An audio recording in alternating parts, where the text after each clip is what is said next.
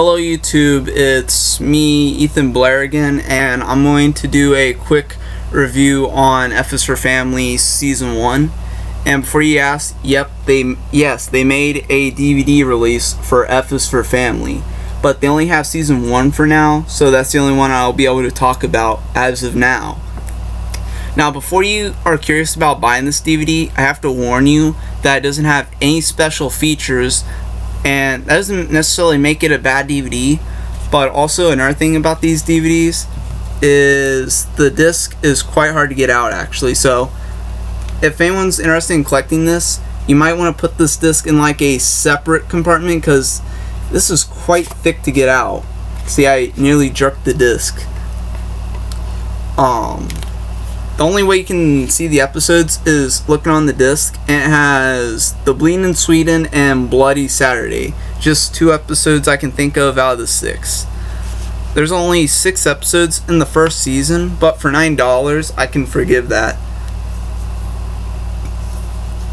And inside the first page, we have what appears to be an outline of F is for Family and it's like I spent $700 on a TV so I could watch a family be happy because F is for family. Oh, that's the blank page.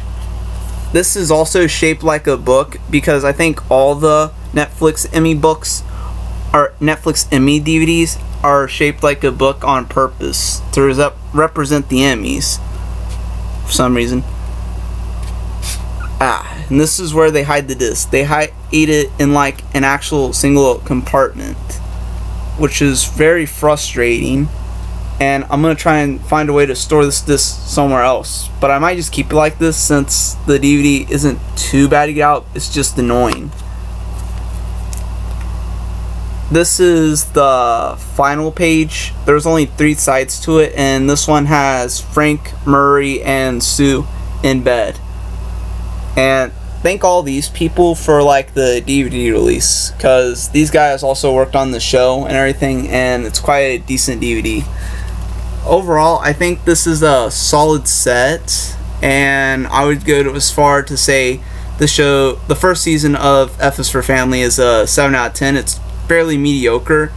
It's actually one of the funniest shows ever and I could almost call it like a good um a good uh, well I don't know how to put it but if you like King of the Hill then you should definitely watch F is for Family because yeah this show kind of reminds me of King of the Hill with its kind of humor. It's not as good as King of the Hill but it's a good substitute for King of the Hill. Yeah that's what I'm looking for. They also have Bojack Horseman on this DVDs and they have the first three seasons. They don't have season four yet which is very unfortunate but I thought the first three seasons were solid enough, so I might get those for Christmas. Yeah, but um, they actually do have a DVD release for BoJack Horseman, but it's only in Australia, and it's only the first season they released in a normal mediocre DVD format, which is very unfortunate, and I don't think that has special features either, so it's pointless. I will try and get BoJack Horseman on DVD though, since I really love that show and I considered the first three seasons pretty good. Because also, season four was quite a disappointment.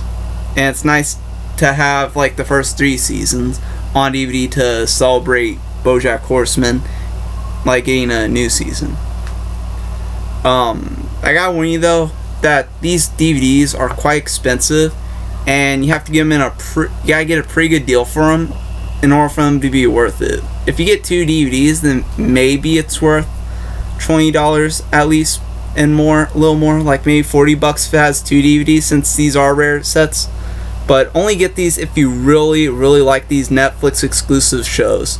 And if you don't, don't like that there's no bonus features and you are okay with it being these kind of DVDs, then they should be fine. I'm just glad I can own these on like a physical media and not be forced to pay for Netflix every month even though I still do, to see the next BoJack Horseman season. But I don't want to keep paying for Netflix all eternity. So these are a great substitute for Netflix if you want to show someone this show but they don't have Netflix. It's really great for that. So yeah, this is a alright DVD. I'd say it's about a five out of ten.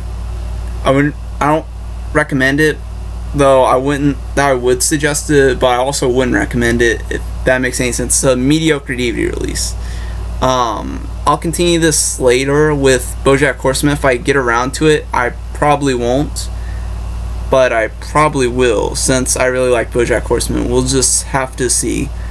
That'll be around in December. All right. If you enjoy this video, um, please subscribe to me and peace.